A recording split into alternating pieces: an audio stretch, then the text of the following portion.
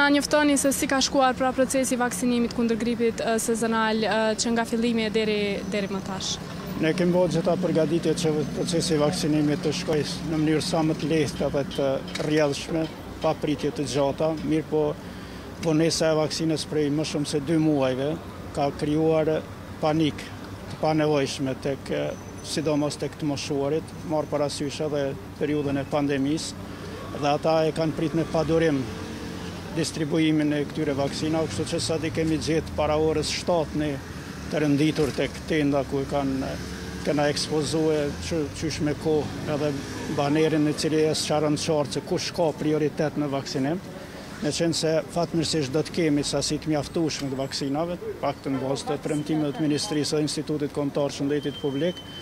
Edhe nuk ka nevojë absolutisht për grumbullime të tilla edhe për pritje të gjata, sepse do të distribuohen të gjitha vaksinat edhe nuk do të mbetet askush pa vaksinu prej grupeve prioritare në mënyrë të veçantë. Mirëpo, si zakonisht, sikur që ndodh zakonisht në raste të tilla të vonesës, pat një grumbullim të pazakonshëm, të panevojshëm edhe normal edhe thyrje të rregullave të pandemisë, të parandalimit të pandemisë. Prandaj edhe u desh që edhe policia të thirret në ndihmë që të mbajë radhën edhe të përpiqet që të krijojë distancën mes atyre që presin. Ne, unë përfitoj prej kësaj mundësie që të ftoj të gjithë të moshuarit e Prishtinës edhe rrethinës që do të marrin vaksinën kundër gripit sezonal në qendrën kryesore të Mjekësisë Familjare në Prishtinë, që të mos nxitojnë edhe zakonisht gjithmonë çdo ditë pasdita është shumë më e lirë, nuk kanë nevojë të presin para orës shtatë sikur për pasaporta apo për blerje të ndryshme, po mund të, ta organizojnë kohën shumica prej tyre edhe ashtu janë pensionerë, që mund ta organizojnë kohën pak më mirë edhe të mos presin gjatë. Pasditja është zakonisht Bazuar në përvojat e mëhershme, është më e qetë, ka më pak të interesuar edhe mund ta marrin edhe ashtu tash është mot i ftohtë, edhe paradita është e ftohtë, kështu që s'kanë nevojë ta rrezikojnë shëndetin e tyre për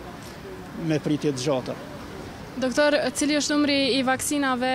të cilat janë shpërndarë pra në këtë qendër? Për Prishtinën janë planifikuar dymbëdhjetë mijë vaksina, Ne zakonisht për çdo vit kemi pas rreth dhjetë mijë të vaksinuar, kështu që sasia e ndarë për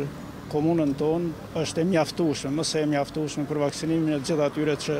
janë të interesuar dhe që i takojnë grupeve me rrezik të lartë. Prandaj përsëris që nuk ka absolutisht asnjë arsye për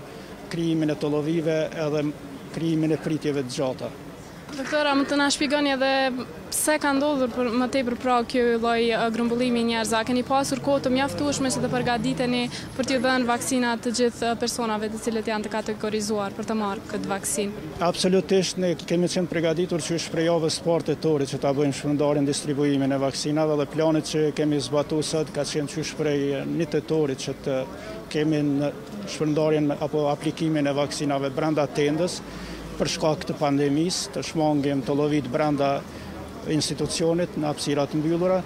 Edhe janë tri ekipe të cilat janë vazhdimisht duke administruar vaksinën në mundësinë më të shpejtë edhe në mënyrën më efikase të mundshme. Mirëpo pritjet janë krijuar prej kësaj vonese.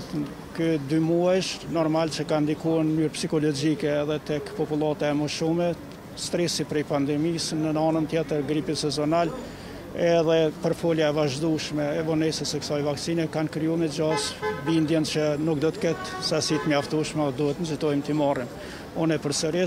i siguroj të gjithë ata që na shohin që në fakt Sasitë e vaksinës që i kemi në dispozicion janë mëse të mjaftueshme dhe nuk ka nevojë askush për shqetësim e as për panik lidhur me atë se mund të mbetet pa të. Aq më tepër që llogarisim që një numër i madh i tyre brenda këtyre dy mujve mund ta kenë kaluar gripin sezonal edhe ashtu nuk ka ndonjë rëndësi të jashtëzakonshme sikur që e kanë pas në periudhën kur është dashtë normalisht të merret. Doktor, ndërkohë a keni hasur në ndonjë qytetar i cili nuk ka, nuk ka qenë pjesë e grupit i cili duhet të merret vaksina kundër gripit sezonal dhe ka kërkuar pra që ta marrë këtë vaksinë? Jo, në këtë fillim nuk kemi pasë raste të tilla, zakonisht janë të moshumit, do të thotë grupmoshat mbi gjashtëdhjetë e pesë vjeç ose ata me sëmundje kronike, mirëpo Në rast se do të ketë, nuk besoj që do të kemi problem që t'i bindim që të paktën të presin derisa të vaksinohen grupet prioritare. Për atë edhe e kemi ekspozu banerin në mënyrë që ta kenë të qartë që s'kanë nevojë të presin kot, të bëjnë radhë të gjata, sepse pa u krye grupet prioritare ata nuk do të mund të marrin vaksinën përkundër dëshirës sonë. Faleminderit shumë doktor. Atëherë pra Flora, Këto ishin informacionet sa i përket procesit të vaksinimit këtu në Qendrën Kryesore të Mjekësisë Familjare në Prishtinë. Pra procesi i vaksinimit ka filluar dhe po kërkohet që të respektohen rregullat ndaj COVID-19 të personave që vijnë këtu për t'u vaksinuar, siç e theksoi pra edhe doktori për shkak të mungesës Për shkak të vonesës së këtyre vaksinave, tash është krijuar edhe ky lloj grumbullimi i personave të cilët po presin për të marrë vaksinën kundër gripit sezonal.